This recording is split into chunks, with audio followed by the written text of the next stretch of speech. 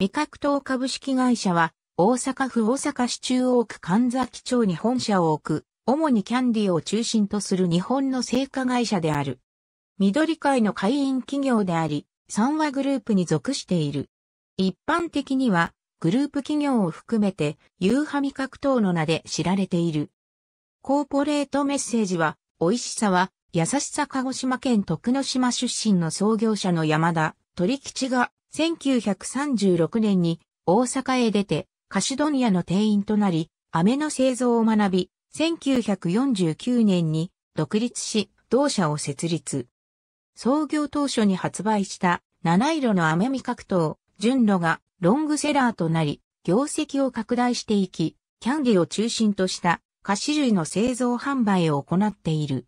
アメ菓子生産販売額の国内シェアは、同業最大手の甘露、森永製菓に次いで3位である。社名の前につく、ユーハのローマ字は、ユニーク、ヒューマンアドベンチャーの略称であり、ユーハの意味も込められている。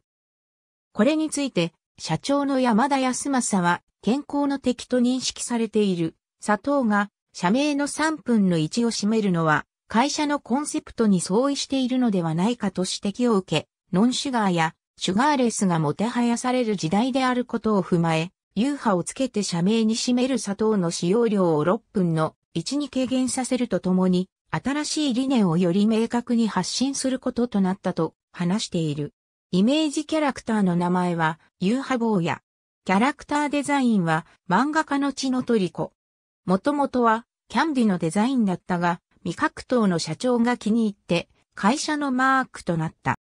ユーモラスなスタイルと大きな目は、ユニークな発想と広い視野で未来を考える、ユーハ味覚闘の企業姿勢を象徴したものであり、そこには子供から大人までの幅広く親しまれたいという願いも込められている。超年展開賞後の必殺シリーズの番組スポンサーを長年提供した後、テレビ朝日系の日曜8時枠のメタルヒーローシリーズのスポンサーをしていた時期があったほか、主に藤子アニメ作品のアニメのキャラクター関連商品の製造、販売もしており、旧未格闘株式会社時代から現社名初期の頃、同アニメのスポンサーもしていた。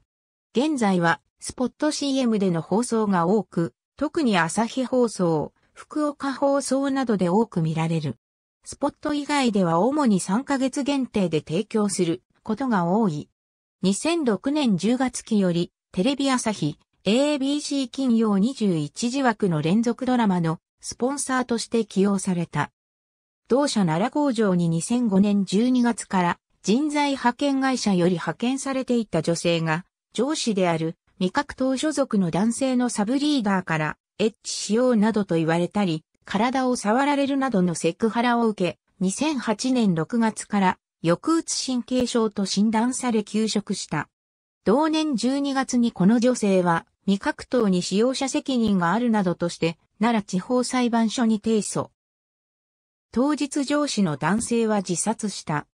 2010年6月15日に、同地裁は使用者責任を認め未格闘に対し77万円の支払いを命じる判決を言い渡した。ありがとうございます。